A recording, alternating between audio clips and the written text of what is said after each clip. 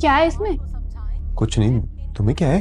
Love letter तो नहीं है कहीं। को मानो अब्बा बैठे हुए क्या बात कर रहे क्यों इतना छुपा रहे अरे हो तो क्या हो गया भाई? क्या है? अब्बा आप खुद ही देख लीजिए। ये पकड़। ओ इंटरव्यू जॉब लेटर है वाकई? वाह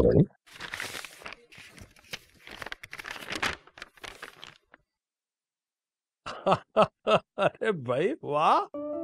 कमाल कर दिया यार तुमने। इतनी अच्छी कंपनी सुरैया भाई सुरैया इधर आओ देखो तुम्हारा बेटा कितनी बड़ी खुशखबरी लेके आया है।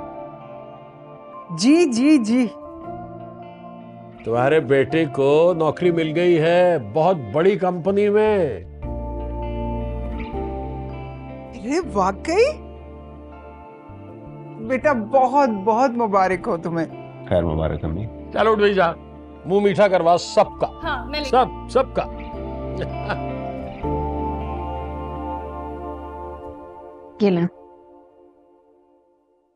आपकी चाय?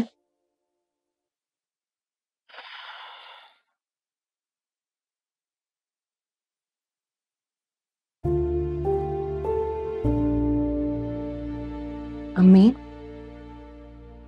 क्या हुआ है आपको? मैं जब से वापस आई हूँ आप इस तरह छुप हैं। कोई बात है? पता नहीं किन गुनाहों की सजा मिली है। क्या मतलब है? राहीन ने आपसे कुछ कहा है? उसने तो सारी उम्मीदों पर पानी फेर दिया। मैंने सोचा था शोहर नहीं है लेकिन बेटा है घर में। किस तरह गुजर बसर हो रही है उसे कोई परवाह ही नहीं। नहीं जानती हैं वो बचपन से कितना लापरवाह है। याद नहीं है वो बचपन में किस तरह मेरे सारे खिलौने तोड़ देता था। आप प्लीज़ इन सारी बातों की वजह से अपना दिल न जलाएँ। अरे बेटा इंसान औलाद से ही तो उम्मीदें लगाता है ना। लेकिन औलाद भी तो किसी काम की निकले। हाँ तो लगाएँ आप औलाद से उम्मीदें। लेकिन ज़रूरी थोड़ी है कि सिर्फ़ बेटों से लगाई जाए।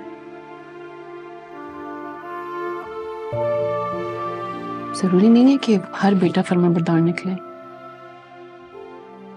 राहील, उससे तो मुझे कुछ भी उम्मीद नहीं है, पता नहीं वो कब बदलेगा।